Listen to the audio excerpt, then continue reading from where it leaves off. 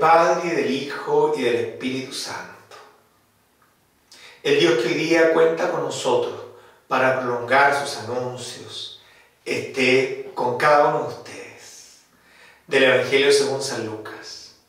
El ángel Gabriel fue enviado por Dios a una ciudad de Galilea llamada Nazaret, a una virgen que estaba comprometida con un hombre perteneciente a la familia de David llamado José.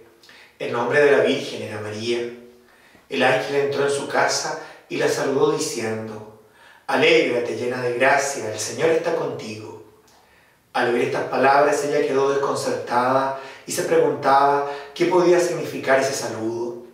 Pero el ángel le dijo, no temas María, porque Dios te ha favorecido, concebirás y darás a luz un hijo, y le pondrás por nombre Jesús. Él será grande y será llamado Hijo del Altísimo. El Señor Dios le dará el trono de David, su padre, reinará sobre la casa de Jacob para siempre, y su reino no tendrá fin.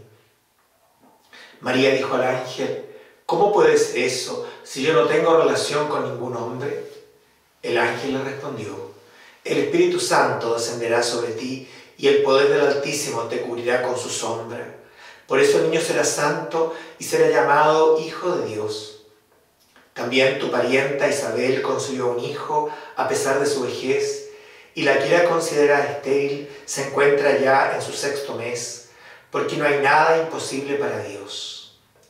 María dijo entonces, yo soy la servidora del Señor, que se haga en mí según tu palabra. Y el ángel se alejó. El anuncio que recibe por medio del ángel Gabriel la Santísima Virgen María, conlleva toda una propuesta que Dios le manifiesta a la humilde sierva que ha escogido. ¿Por qué? Simplemente porque Él la ha favorecido, la ha llenado de gracia. Y porque, y ahí viene el contenido del anuncio, con su sí generoso, con su disponibilidad, concebirá y dará a luz un hijo que pondrá el nombre de Jesús. Ojalá que también nosotros, siguiendo el ejemplo de María, nos abramos siempre con docilidad, con apertura, con generosidad. En primer lugar, para estar abiertos a los anuncios de Dios. ¿Qué es lo que el Señor cada día a ti te quiere anunciar? ¿Cuán receptiva, receptivo eres para acoger ese anuncio? Y luego, al igual que Gabriel, cuán dispuestos estamos a ser también nosotros transmisores de anuncios de parte de Dios. Y claramente solo podrá anunciar un mensaje de parte del Altísimo aquel que está con María dócilmente abierta a su palabra, abiertos a descubrir el paso de Dios por nuestra vida.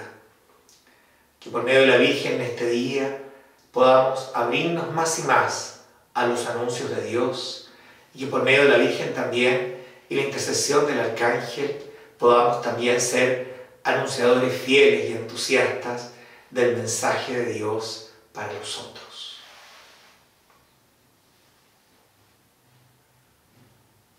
Creo, Jesús mío, que estás real y verdaderamente en el cielo y en el santísimo sacramento del altar te amo por sobre todas las cosas y deseo vivamente recibirte dentro de mi alma.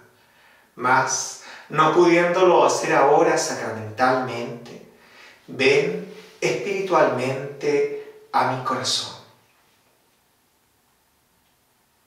Y como si ya te hubiese recibido, te abrazo y me uno del todo a ti. Señor, no permitas que me separe de ti bendiga el Dios que es Padre, Hijo y Espíritu Santo.